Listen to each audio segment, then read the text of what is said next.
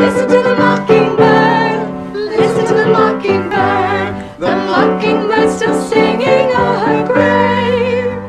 Listen to the mockingbird. Listen to the mockingbird. Still singing while the weeping willows wave. Aw, keep playing. Oh, I needed this. Thank you. Oh, God, now that my brain fog is clearing, I, Oh, oh. I had a thought I wanted to share with you about your poem. My poem? Which one? The last one you sent me right before the baby was born. The, um, safe in their alabaster chambers. Oh, that's that's one of the ones I sent to, One of the ones you sent to who? to you. That's um yeah. Go on. Yeah, well, I mean, it's it is an extraordinary poem. Just the imagery of death and snow. It's it's just beautiful, Emily.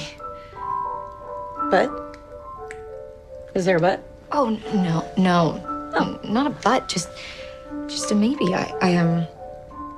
I thought maybe it could be better without the second stanza. Without it. Well, it's, it's just my opinion. But I, I know that my opinion means more to you than anyone else's. It's time to reminisce. Edward, let's share some of our fondest memories.